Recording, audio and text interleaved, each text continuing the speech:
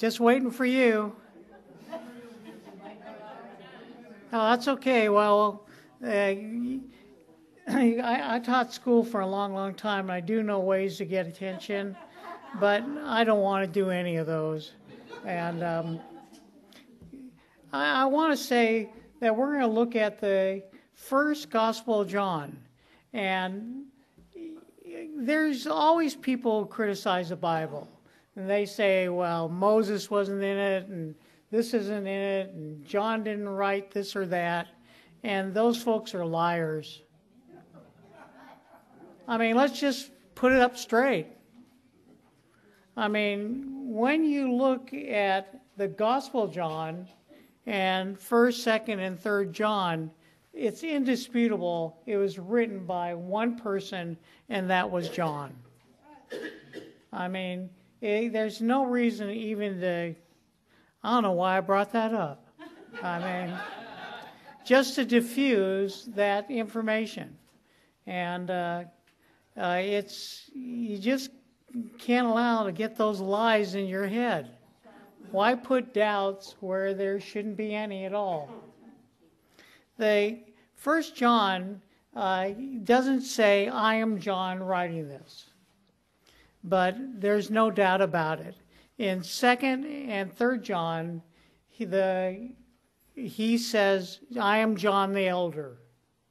And he describes in that is written to a church in Ephesus as revealed in 2nd and 3rd John, and is the Gospel John, the 1st, 2nd, 3rd John one author, no doubt about it. And John also wrote another book. He's got four in the New Testament, and actually five. You got to set Revelations also. and uh, his writing style is one of complete admiration for Christ and God the Father. And you can tell by First John that he thinks of God the Father and Jesus as being just basically one word. He sums them up as God. You know, and uh, I want to. There's we're going to look at only seven verses here, and then next week I think Fran's going to go on to the next uh, book. But uh, I'm going to read this to you, and it's well worth listening to very, very carefully it says the word of life. what was from the beginning, and what we have heard, and what we have seen with our eyes, what we have held and touched with our hands concerning the word of life. And the life was manifested, and we have seen and bear witness and proclaim to you the eternal life which was with the Father and was manifested in to us. We, what we have seen, heard, we proclaim to you also, so you may have fellowship with us. And indeed, our fellowship is with the Father and his son, Jesus Christ. Hey, he doesn't he's not pulling anything here. He's just saying straight up, right? And these things we are writing so that our joy may be made complete. Verse 5 And this is a message we have heard from him, capital Him, and declare to you that God is light and in him there is no darkness at all. And if we say that we have fellowship with him, yet we walk in darkness, this is where we need to really pay attention. Right here, we lie and do not do the truth. But we, if we walk in the light as he himself is in the light, we have fellowship with one another, and the blood of Jesus Christ cleanses us from all sin. What what a writer. What a man who knows God. What a man who proclaims God. He doesn't even want you to know his name. Very humble. God is in front of me every which way, and I'm going to proclaim him and leave myself out of it. Now, you notice that in the beginning, there's also the Gospel of John. It kind of starts the same way. I mean, he says something very similar to that, and it says, let's see, right here, John 1. This is the Gospel of John, and it starts off by saying, In the beginning this was the Word, and the Word was with God. This is capitalized because the Word here he's talking about is a person, Jesus Christ. And the Word was God and was in the beginning with God. Jesus didn't show up when he was born in Bethlehem. There's all sorts of scriptures that show us and reveal us Jesus in the Old Testament. You don't have to look very hard to find them. Because no man, including Adam, ever has seen the face of God the Father, Jesus came and spoke to Adam. Jesus came and spoke to Moses, face to face. God the Father does not speak to people face to face. Jesus is plastered all over the Old Testament, and it, it doesn't take much work to see it. And when you read the Old Testament, you can see Jesus, and he does not say he was not revealed until he was declared himself the Messiah.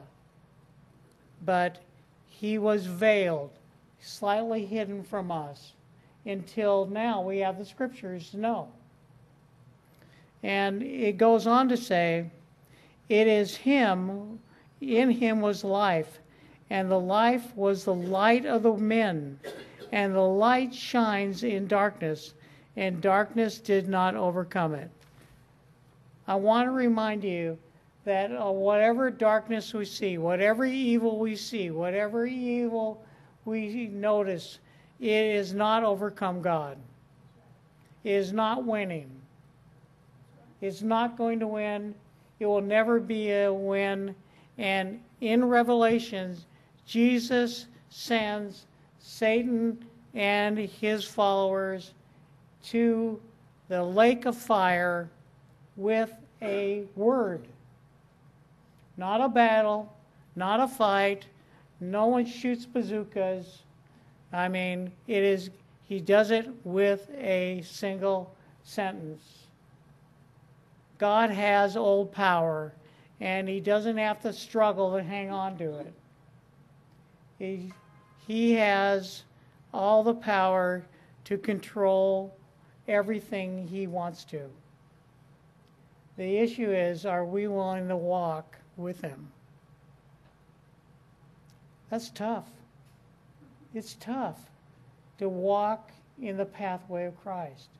You will fall. You will fail. I fall and fail. And I pick myself up, confess my sin, acknowledge my sin, and say, Lord, I do not want to be a problem child. I do not want to be a problem child. Someone who's giving you a headaches because of my behavior or my speech or my conduct or my desire not to do what you ask me. But we walk in His light by being obedient. And that's difficult. It takes work and repentance and renewal. And boy, I don't know about you. Maybe you're perfect, but I need lots of renewal and I need lots of repentance, and I make lots of mistakes, and I, I get frustrated and say things that I shouldn't. I mean, my daughter had surgery on Friday, and uh, we've taken care of her and her children for the last few days. And she got up this morning and she said, Oh, I feel so much better. And I said, I'd like you to make the bed. I was an idiot. I was an idiot. I, I didn't say, It's nice to see you. I'm glad you're feeling better. I just said, I want you to make the bed.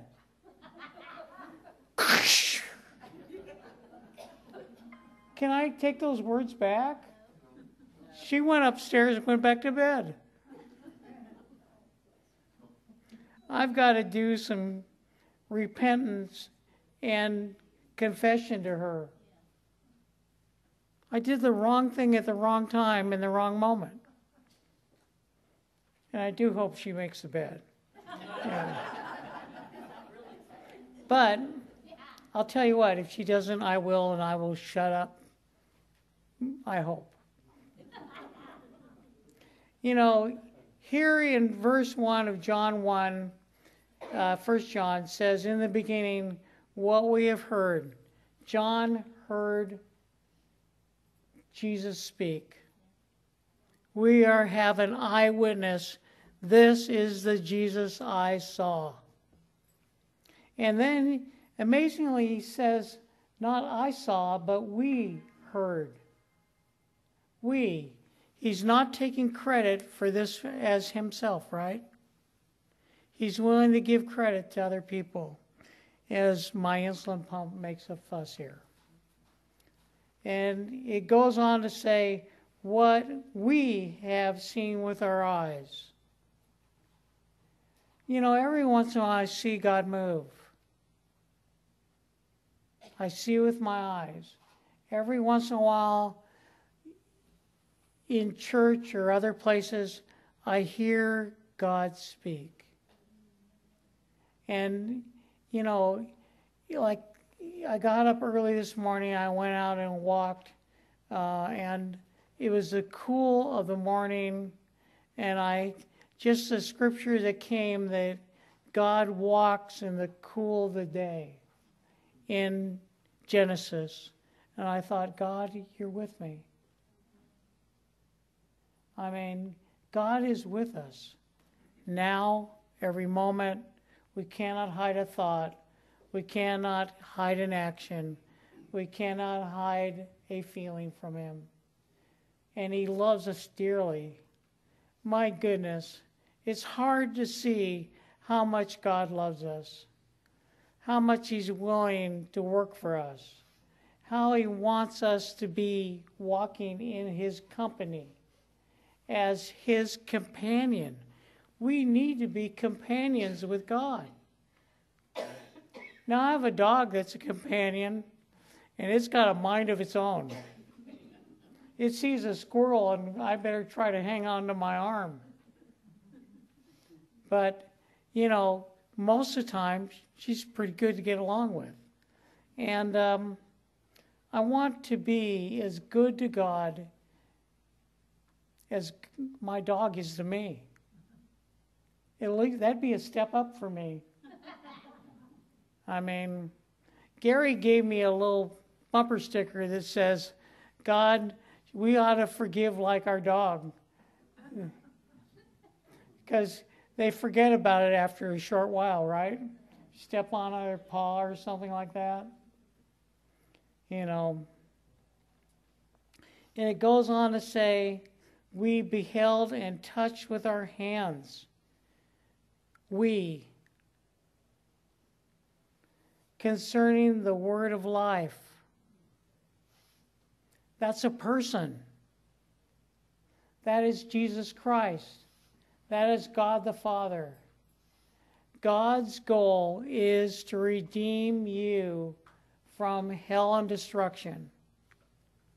God's goal is to give you eternal life. God's goal is to give you a new mind and a new body. Hallelujah for a new body and a new mind. Oh, thank God. We need a, a new mind and a new body, and I need a new kidney. So, You know, we're, we're, it's, it's in the process. And the life was manifested. That means this is evidence. Manifest says, I have evidence that this is Jesus. That's a manifest is proof that this is so. And it doesn't say it once, it goes on to say it twice in case we're thick headed. You know, it goes on to say, and we have seen and bear witness and proclaim the that to you the eternal life. You know, when we meet people who are in sin, we need to proclaim eternal life. Not that we're perfect, not that we don't need to repent, but that Christ and our God can give them eternal life. What a gift! What a gift. And it says, which was with the Father and was manifest, proven to be true to us. If you're having doubts about Christ, if you're wondering, you know, God, you're really mistreating me. I really wanted that Mercedes Benz, you know. You, you've heard the song, right? I'm not going to sing it. It says, What we have seen and what we have heard, we proclaim. Hey, your job is to go out and proclaim. My job is to proclaim that Jesus Christ is eternal life, so that you may have fellowship with us, having God as your light and walking in the pathway of life gives you fellowship with other believers and more importantly, with Him, with Christ, with God the Father, fellowship, companionship. And it shows our devotion to Him. And it says, and with His Son, Jesus Christ. And in verse 4, and these things we are writing so that our joy may be made complete. When you see someone baptized, I hear the clapping and shouting and the joy, and I weep when people are baptized. I like to sit down in the front and I can cry and no one will notice, okay? Because the joy of the Lord makes me weep just with joy. Who would ever think you'd weep with joy? Geez, what a wimp I am, or something. You know, but I do weep with joy. And the joy that God gives us is complete. Complete joy. Now, most of our lives is not very joyful, is it? Ah, someone's in my parking spot you know. I mean, this this is too salty, and things like that. And you know, if we would put our vision to the Father and to the Son, it will give us great joy.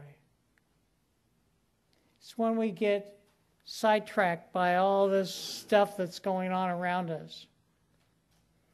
And it, go, it goes on. And this is a message we heard from him. Hey, this is coming from the horse's mouth. John walked with Christ. John was with Christ. John was assigned the responsibility to take care of Mary, isn't that correct? You know, and that God is light. You know, a lot of people blame God for troubles. I, I had a neighbor who's moved away, and he would come and weep on my doorstep because he was an alcoholic. And he would say, Why has God done this to me?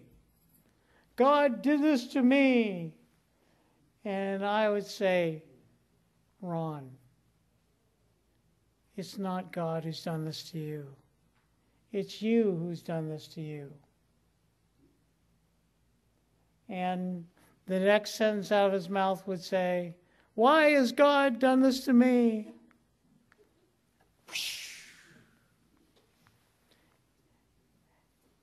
You've met people like that who blame God for all sorts of things.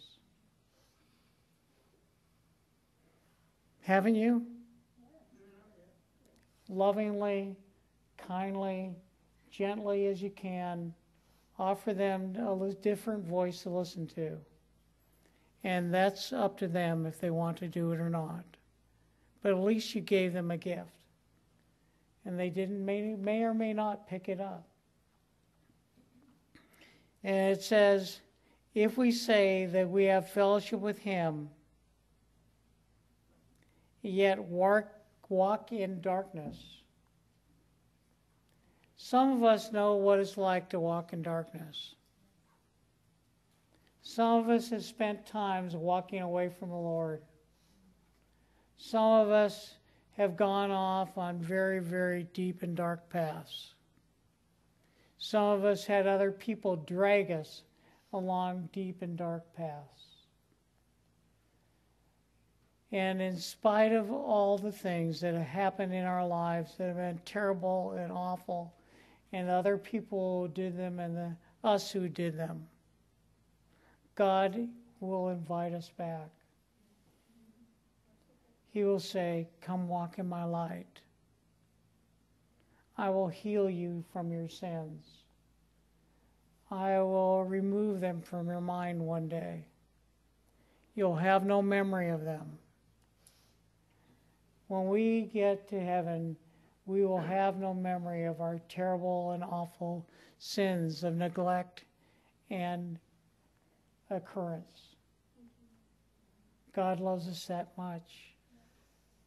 I mean, our hatred of the way other people treated us, it's time to put it down. And put it away because Christ has saved us from sin. Hallelujah. Hallelujah. Hallelujah. That means praise Yahweh. That's a literal 2,000, 3,000, 4,000 year old word. Every time someone says it, they're saying, Praise Yahweh. Now, do they mean it? I don't know. I've heard people say it over spaghetti.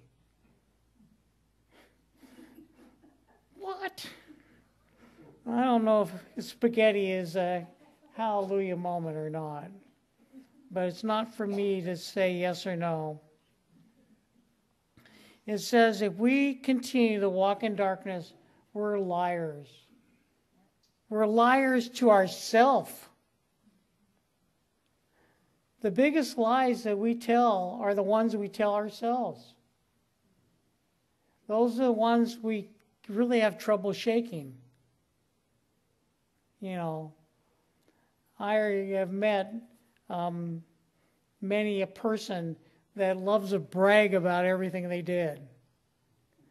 I was sitting in a room with about five, six, seven men who were multimillionaires, and they um, had farms and things like that, and all this stuff. And they each one of them would go around the room and say what they did and what they were bragging about and how glorious their achievement was and how wealthy there was. And the other six of them weren't listening at all they were thinking about well, i got something important to say and I, they didn't even hear those other people and i had the joy of listening to it i thought these men can't hear each other they just want to brag about themselves. Empty. Very, very, very empty. It's amazing how wealth can make people empty sometimes. But the, we need to get out of darkness. And it says, goes on, but if we walk in the light, woohoo, redemption, right? Now, John is not saying that we do not sin at all, right? John's not saying that. He's saying we're redeemable. And God's desire is for us to walk with Him. We will have fellowship with one another, and the blood of Jesus Christ cleanses us from all sin. All sin. All sin. All. All of it. All of it. All of it. I mean, just think of how many times you've been attacked by sin. All of it can be cleansed. All of it. All of it. And we say we have no sin, we deceive ourselves, and the truth is not in us. Have you met someone who acts like they're perfect?